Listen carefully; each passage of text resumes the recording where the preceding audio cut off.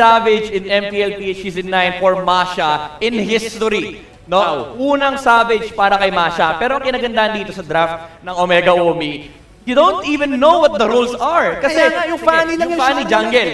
Yung Masha, pwede kay Chaknu, pwede kay Renzo. Yung Julian, pwede kay Etomax, pwede kay Renzo. Hindi pa natin alam. And mind you, nagdo-double fighter din ang Omega. Now, wala na yung Beatrix. We can expect some curveballs here. Pwede ka mag-expect ng Yuzong, pwede ka mag-expect ng Pakito, kasi they've run it before. Nakuha na nila to nung MPLPH Season 9. They removed the link. So, aga- again, no, pwede kang pumunta doon sa range ng either mag-marksman ka or mag-fighter ka. For the fighter side, nab- nabanggit na natin yung Yuzong, pati na rin yung Pakito. Pero for the marksman, meron pang Clint at yung Popol and Kupa. Yung Clint ay uh, much favored for Omega, lalo na nagamit nila to nung Grand Fan sila. Ah, anong laban nila against RSG.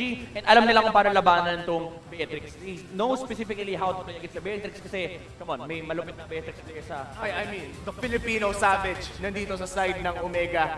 At IDNS naman, grabe din ang respeto dito kay Kelra. Dalawang gold laners na ang tinatanggal on the banning phase. Tingnan natin kung ano nga ba ang matitira para kay Kelra. Nabanggit mo yung Clint. At so far, sasabihin ko pa lang sana, no, lumalabas-labas din ang Brody kahapon sa ating group stage ng MSC 2022. Pero sa ngayon, tinanggal ng IDNS yan. Ano kaya ang magiging response ng Omega dito? Dahil meron ng mid-gold at possible jungle or XP ang side ng IDNS. I feel like magtatanggal sila ng roam dito for the side of Omega. One thing that they can remove is the Atlas. Kasi pwede silang kumuha pa ng, mga- ng Ku- Kufra or Ruby or even yung signature show ni Chakno. Pero kailangan lang balikan no, yung sinasabi mo kanina, yung Brody Ban. Maganda kasi yung Brody Ban instead of the Clint. Kasi even though mukhang maganda yung Clint for the side of Omega, yung Brody kasi kaya talagang tumapat against the Beatrix. And ma medyo eh, poproblemahin mo rin yan kung ikaw yung Thumbs. Kasi the longer you sustain the fights, mas mataas yung damage output niya. Now there you go, Omega removes the Atlas. IDNS, they might be forced to pick Kufra here para lang may panlaban sila kay Fanny. Pero if they don't pick the Kufra, mapupuntihan kay Chakno. Ha? Alam na natin yan. Kapag Chakno Kufra, expect a miracle play. Kapag Chuck no Kufra, ilista nyo na. Pero syempre, saktong bias lang tayo. Ilista Oh. nyo na after 5 minutes. Mga ganun. Tignan natin kung magkukuha nga ng Kufra ang IDNS dito dahil napaka-importante ng pick na yan against the Fanny. Nabanggit mo na nga rin. Wala pa kasi masyadong, actually wala pa kang makakapigil. Wala. Fanny so Ay, far nag-Ruby. dito. And Ruby ang kanilang magiging pick up. Let's see if tama ang hula mo midnight. I think Kufra nga ba? I think we go for the show here for Omega. Kasi wala na rin chance na mag-Kufra IDNS. Hindi naman ganun kataas yung priority ng Omega para i-pick yung Kufra. Now that they've uh, they've seen the Ruby pick from IDNS. Kasi yung Kufra may hirapan sa early game. At least yung Cho, it's mobile enough to catch the heroes of IDNS. And uh, mahirap din hulihin kahit pa sabihin natin nakaruby sila. And also, yung pick-off factor sa may backline. Kasi nakakatakot na iisipin mo, kung ikaw yung Beatrix, may Fanny at Cho na humahunting sa'yo for on the side of Omega. Now, uh, ay, hindi, Grok! Wow! And also the carry. Nakita rin natin ang carry kahapon running the sprint. Medyo tumataas ang pick rate ng carry ngayon ng MSC 2022. Medyo napapaisip ka ata dyan midnight. Paano ba ang nature ng matchup ng isang Beatrix laban sa isang possible carry, ah, carry matchup? Actually, ano to eh, skill, uh, skill-based, pero majority of the time, si Kari yung lumalam. Kasi ang gagawin lang talaga niya is uh, talagang magpo-poke siya with the second skill. Lalo pag level 2, kahit sabihin natin pwede mag-sniper yung Beatrix, yung pag-control ng lane ay nasa side ni Kari. Lalo pat may kasama siyang Grok dito. May threat na pwede siyang harangan ng pader at hara- harasin siya nung, ha- nung carry. So IDNS, they need to address this, pero hindi pa natin alam kung, uh, kung tamos jungle to or magiging X-Plane, tapos kukuha pa sila ng isang jungle. Pero they need a fast-moving jungler. Tingnan natin kung fast-moving jungler nga ba ang kukunin nila. Karina is open pero mukhang jungle thumbs. Napakamot ulo ka na dyan midnight pero feeling ko sumaya na lang tayo kasi pang, kung nagkamali man ng IDNS, ngingiti mas lalo ang Smart Omega. Pero honestly, hindi naman kailangan magkamali ang IDNS dahil todo suporta ang buong Pilipinas Barangay Omega. Any last thoughts bago tayo pumunta sa casters? Walang kabayas-bayas, Barangay Omega. Barangay Omega ang laban ngayon pero ngayong hapon na to, Barangay Pilipinas ang titignan natin. Pumunta na tayo sa casters for game number one.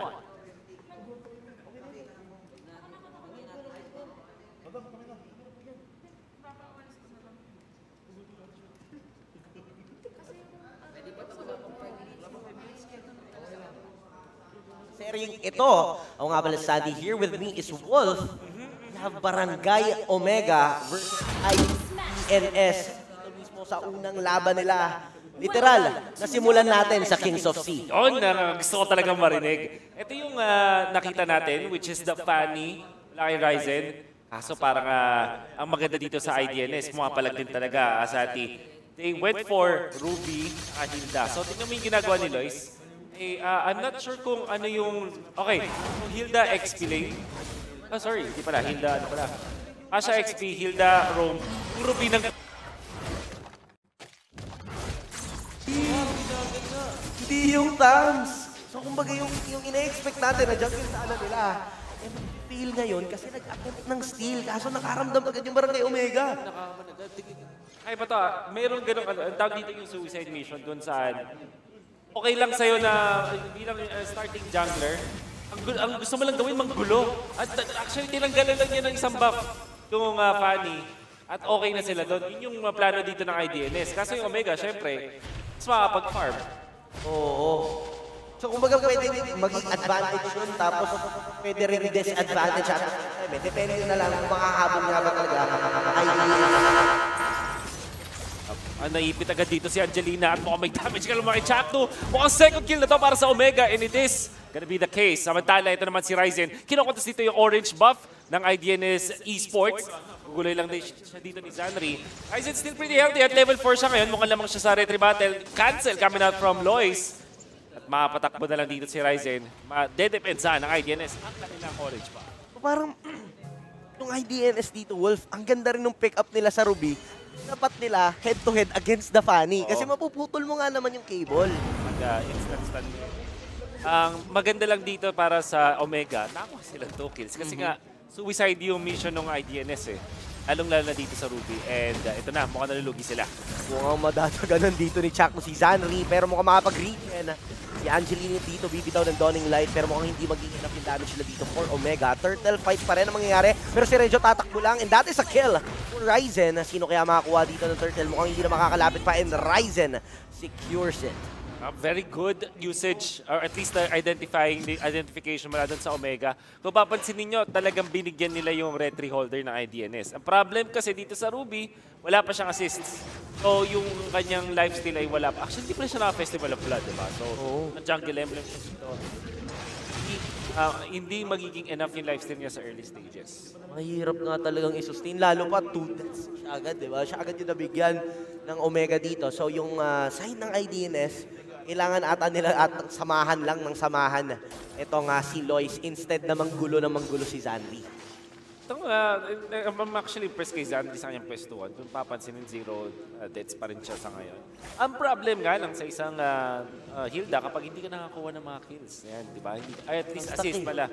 Hindi na ganun yung stack niya, pero uh, uh, what I'm trying to say is, madali kang lumambot. Ah, Hindi ka oo. scale as much. Kasi yung region mo, sa early lang naman talaga malakas yun eh. Yung uh, tipong nag-in out, in out ka. Dating ng late game, um, hindi na siya ganun ka-impactful. Lalo na daming killers mula sa side ng Omega. Enough nga talaga yung damage ng Omega dito to take down Zanri if ever man na magkaroon dito ng mga skirmishes on the later parts of the game. Pero ngayon, Chakno together with Kelra, mukhang maiipit ata sila pero dito rin si Etomax with a sprint. Ito kaya ang tatamaan Zanri dito, mukhang mauuntok na naman at wala na atang takas and that is a kill for Kelra. Yung Omega pa rin ang umaarangkada 4 to none. or to zero like you said. Tapos, may uh, dalawang libong lead ang Omega. Lahat ng lanes ng Omega ay uh, uh, maganda ang uh, simula. And para naman sa IDNS Esports, ang laking factor na nabibigyan agad dito yung jungler. So may isa agad core na nawala mula sa, na parang wala masyadong impact for IDNS Esports. Ang kanilang sigurong saving grace na lang dito ay yung Beatrix if they do find the farming sa Beatrix. At, well, eh, sabi natin ito si Dams mukhang uh, okay din naman na simula. Oh, si Sun Xiaompak, no? Pwede, na, pwede naman ng ah, start yon sa kanyang ah, laning phase. Walang namamatay dun sa side laners actually ng IDNS, which is a good thing for them. Kaso nga lang, nabubugbog talaga yung tatlo nila sa mid na umiikot palagi. So now, Turtle na naman, mahuntog ni Oh. Chaknu. That is a nice cancel, but now, Ryzen will take down the Turtle. Yep, nakakuha din sila ng isa pang kill. Additional kill dun sa Hilda. Mukhang naghahanap pa dito si Fanny pero sabi ni Jack, no, wag na. Tama na. You can see na yung Cotred Inferno din ay na-commit sa may top lane. Ang trigger discipline ng IDNS ay kailangan nilang uh, i-work on dito kasi parang bibigay sila ng maraming uh, bagay para sa Omega Turtle tapos 6 kills. Mukhang nakakaramdam na tayo dito Dalawa papasok. Yun pa flicker in ata. Wow! Flicker discipline nga, Wolf. Kasi, sasabi natin na, wrong flicker yun eh. Parang binhit lang din eh. Kakaiba eh. Pero siguro nagulat din yung Omega doon. Kasi Oo, si matras. Paatras na yung tina-target niyang pwesto nung Matrix ay paatras. Ah, And yung pag-forward niya, medyo nakaligtas pa siya dahil doon. So, ah, tingin ko si Easy nag-ano na lang eh. Parang ah, su- sumugal na lang. At ah, nag-pay off naman yung sugal niya. So, wala siyang wala siyang flicker ngayon. So, alam ng Omega na, uy, pwede natin bisitahin ulit to. Alam natin yung timer ng flicker niya. So, pwede natin tauhan. But IDNS, ang sagot nila, kung tatauhan nyo si si Izzy, tatauhan din namin. Nandiyan si Lois. Kaso nga lang may wall na ilalatag. Si Henry iikot. Dami siya rin mula kay Kelra. Chakno is quite low. At mukhang mabibigyan dito. Kaso low na rin si Easy. Makukuha yung isang kill. 1 for, 2 for 1. I mean, mukhang tatatlo pa yata. Zanri, buti na lang. May sprint at makakatakas. But that is Omega ulit collecting. 2 kills para sa isa. Eto, Max, on the lead talaga. Grabe yung follow-up ni Kapitan, no? Yung, yung ikot niya doon. Kasi kung, kung wala doon si Eto, Max, parang masasabi mong 50-50 pa kung mananalo yung Omega sa sa trade na yon eh. Kasi may namatay din sa side nila. Pero definitely, ang ganda ng ikot nila. Alam na alam kung kailan talaga dapat pumasok. Pero ngayon, mukhang may bibisita. Ako po, nab nabigyan na pamali pero may magandang hatak dito. Dalawang tinamaan kasi may damage back kami from Jelina. Hindi lang, and Xavier actually ay uh, mapapaback. Ito Max is quite low, hindi tinamaan ng sniper. Grabe naman, may footwork pa pala si Tito eto Max. Sa Euro step! Euro step ni Tito Max. Grabe yung mga sidestep ni Tito Max doon. Talagang hindi mo hindi mo basta-basta matatamaan. Alam niya na yan eh. Kumbaga, yung mga tutukan, yung mga Savior Dawning Light, mga sniper ng Beatrix, alam niya kung kailan talaga kinakailangan. But now, another turtle has been secured by Omega. And also a kill. Izzy goes down. Tapos kaya nahahabol pa sila sa dalawang miyembro. May ipit sa gitna ng iskinita. Ah, may dalawang tinamaan doon. Nag-light, walang tatamaan. Lois ay sobrang low na ngayon. Hinabol ng Omega and that's another one para sa Omega. Makakuha pa sila ng purple. Nakuha nila yung turtle. Nakakuha nila lahat ngayon. Literal, Santi. Tapos hindi pa sila tinatamaan ng IDNS Esports. This is looking bad para sa Team Thailand. Parang sabi ng Omega dito, pa-seminar kayo kay Tito Max, paano tumutok? Mo naman, maganda yung, ganda yung mga decision din ng IDNS kung palag sila o aatras sila. Sadyang yung Omega, yung aggressiveness nila, umaabot na dun sa point na hindi na ina-expect ng IDNS kung gaano kabilis yung galaw. Hindi nila na-anticipate kung ano ba yung gustong gawin ng uh, Omega in a way. Kasi parang naging aggressive. Sobrang aggressive yung IDNS. Parang naisip nila muna, paano, paano ba ta- natin tatakbuhan itong mga to? Tapos, nagpapanik na sila with their usage ng skill. Kahit, kahit nga si Easy, di ba, sobrang lalim doon sa turtle fight. Hindi ka makakita ng Beatrix na gano'n. And uh, unfortunately, para sa IDNS, ang laki na ng labang ng Omega. Tingnan mo naman si Ryzen. Napakatapang at pinasok ang tatlong miyembro tapos makakuha siya ng isa. Angelina goes down and easy dito. Pinunit lang ni Kelra na para bang papel. Grabe. That's like, ano yun, memory foam. soft Sabi like, soft like memory foam. Soft like memory foam. Hindi, ibang bansa yun. Eh, iba ba yun? Ano to? IDNS. Respect, respect, Respect, respect, respect, respect. Grabe. Nakita mo eh, no? parang si Ryzen wala na siyang pake. Kasi alam niya wala rin lockdown eh. I, I think na marka na yata nila kung nasan si Ruby. At yun yung maganda kay Ryzen dito. Pag alam niya kung na malayo-layo yung Ruby, yun lang yung ano eh, pang stand sa kanya. So, yun lang ipang cancel. Pag every time na wala yung Ruby dun sa equation, pwede niyang i-go agad. Kaya yun yung kagandaan dito sa ah, aggressiveness si Ryzen. Oo, nanggigigil na si Ryzen. Kasi Pakbet kanina, no? Si Coach Pakbet, yun lang, nanggigil na rin eh. Ano eh. Formal na formal si Coach eh. Nga eh, parang, parang saya isama sa mga trip natin pag naghahanap tayo ng mga suit eh. Oo, oo, sama si Coach natin shopping, yun eh. no? Shopping, shopping. Pero ngayon mukhang magsha-shopping na rin ang Omega. Kukuha ata sila ng mga miyembro mula sa side ng IDNS. At ngayon, matatamaan nga yung isa. Si Zandri dito, tila ba ng lambot lang? Nako po, parang tinutunaw na lang. Ito, to, tumatalon pa yung Tams. He does have the counter Inferno at grabe yung uh, discipline dito ng Omega. Gusto nilang i-secure talaga yung ah, mga panalo. Ang kailangan i-take note guys ha, kahit pa sabihin natin na lamang na lamang Omega dito, hindi ma, hindi, pwede, hindi, hindi magbibigay ng kahit ano kasi best of two. Ang sobrang ano ba, parang sobrang punishing ng ah, best of two series. Mata- matalo ka lang ng isa, kahit na lamang na lamang ka, parang no room for errors, literal. Hindi siya parang best of three na, sige, kaya natin bawiin sa game Oo. 3 to, if ever man. Kaso ngayon kasi, natalo ka ng isang game, parang ang hirap ng i-climb kasi yun nga eh, nakasalalay na sa ibang sa ibang teams Oo. yung ah, magiging ano nyo, yung ah, magiging kapalaran nyo sa mismong ah, tournament. Hmm? Tsaka, di ba, ah, di ba na- nakita natin kahapon, kahit mag 1-1 kayo, yung RSG is, ah sorry, see you soon. No chance sila na manalo nun dahil, dahil lang dun sa rule na ah, faster wins, di ba?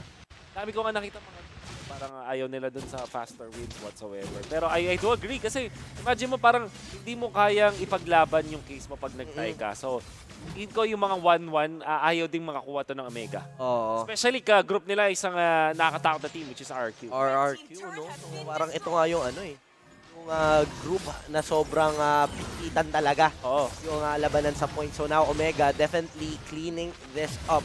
Ayaw nila dito magkaroon ng error basta-basta. Hindi sila nag initiate if hindi nila kaya talaga. So IDNS Esports now just taking their time doon sa kanilang base. Tatlong inhibitor turrets lang remaining but there's a minion wave possible mag-push. Wala ng holy defense so wala ng uh, sabog. Ay, meron pa pala. Meron Wow, pa okay. isa. Bakit? Okay. Akala ko nakita sa bottom lane pala yun. Oo, dalaw, dalawa na. sabog, oh. Pero ang ganda rin ng update ha. Kung titingnan natin, yung update na yun na puputok na Tori, Oo. parang hindi mo na mapa-fast game eh. Oo, hindi mo sobrang, hindi mo fast game. Ang ang ah, laging criteria lang yun guys kapag 12 minutes. Before 12 minutes nabasag yung katapat niya na second to- second tower. Doon lang siya magkakaroon ng ah, sabog. Kunwari, na durog niyo yung second tower ng mga 14 minutes, wala nang ano yun. Wala na. Walang protect. Baga considered as parang palate game na nga rin yan eh. Oo. So, pwedeng pwede mo nang rektahin. So, sa mga nag-RG dyan, di ba? Oo. Dapat alam nyo yun, call nyo, uy, pwede natin itong rektahin. Oo, walang, Lumagpas sa 12 minutes, sa panood ko to, sinabi to Oo. ni Wolf eh. Sinabi to ni Kuya Santi. Uy, Rose Gold Meteor ah, kay Ryzen. Pwede talaga siya maging aggressive. Si Angelina, kung hindi ako nagkakamali, nakita ko ng roam. Wala kay Angelina. Ooh. Ay, in-upgrade niya, di ba? Naka-roam, nag, naka-roam. Hindi ako nagkakamali, di ba? Parang, oo, oo, oo, yung ah, ano niya, yung CD boots niya. Double roam sila. So, Baka lowest gold siya ngayon, no? Mm, pwede rin. Pwedeng, Yun, yun yung malungkot kung savior ka, tapos lowest, Lowest gold. gold. ka. Kasi kailangan mo ng items siya, kailangan mo ng glaive, ay, kailangan mo ng mga ano, di ba, nung... Pansin ko natin yung damage niya hindi hindi nagiging enough Oo. eh. Kahit tumama man nga yung Dawning Light niya, parang hindi siya threatening Oh. sa Omega na pag nakita nila, o sige, tamaan mo na ako ng Reagan mo. Oo. Okay lang yan. Nagpaplanuhan dito si Etomax kaso yung base nila dito siya pwede nang mababasag. Ka naman nag-TP out na mga IDNC Sports. Tingnan naman si Chakno. Natayuan na lang. Tinatayuan ng kanyang mga katapat. Wala, kulang na lang talaga. Harangan niya lang ng harangan. And mukhang hindi na nga makakalapit pa ang IDNS Esports. Ito, mismong Lord Pit. And mukhang this is a free Lord for the side of Omega. So, din na tong gamitin, no? Yung, yung pag-balance ng minion waves. Right, right, right. At may talon na yung uh, Lord na yun kasi 12 minutes, uh, lagpas 12 minutes na nila nakuha yung kill dun sa my Lord. At okay, tinitingnan. Oo nga, naka-room. Oo. Double room. Ano siya, no? Conceal ata eh. Oo. Conceal yung... Dalawang conceal. Pwede, pwede kasi na binili lang niya para dun sa conceal. Mm-mm. Pero judging dun sa pera niya, clock lang, tas enchanted. Ah, siya nga ta lowest gold. Lowest gold nga si Lodi. Mas madami items ni ano. Oo. Build na rin na. Kasi naka- naka-mystery shop siya eh. Tapos yun lang item niya. Yun lang, idol. Lo- lowest gold si Angelina. Tingin tayo dyan. Ito. Oo. Tara na yung Lord, damage sa torre. Chakton man napakalalim pero wala siyang pake. Kasi ang kunit nga naman niya, in comes the Dawning Light at yung top lane naman nakuha na din ng Omega. Inuubos na ang base ng IDNS. Ninjo, papalag, walang kakaba-kaba, pero out lang din kagad-agad si Etomax dito, pasundot-sundok lang, in-out plays coming from Omega. Oh, Chakno! Meron nang ang paguntogin dahil sa monster kill coming in from Kelra. Tapos mag-aani cables lang sa may bandang gitna. Dawning Light, bibitawan, pero mukhang hindi magiging enough. Omega! Ang mag-iingay para sa unang laban. Mapapa, shish ka talaga kung uh, fan ka ng Omega dahil sobrang swabe na nakita nating laro na yon Santi. Kahit dun sa dulo, di ba? Kailangan mo, lagi mo tagal titingnan si Chakno kapag mga setup uh, heroes yung gamit niya. Like the Grok. Pag pinapanood mo, bigla ka na na magugulat eh. Nakakahanap siya ng angulo. And of course, um, that ended the game. And we did know, nga lang, Santi, na yung pinakaunang pagsugal ng IDNS gamit yung Ruby, yung suicide play na ninakawan niya ng Orange yung Orange kalaban, hindi talaga nag-pay off agad. Kaya naman sila na dali agad. At yun na, Si- nag-celebrate na mga Ito, idol. oh. Si may hito buff, di ba? Ito buff eh. Kaya, kaya pala talaga.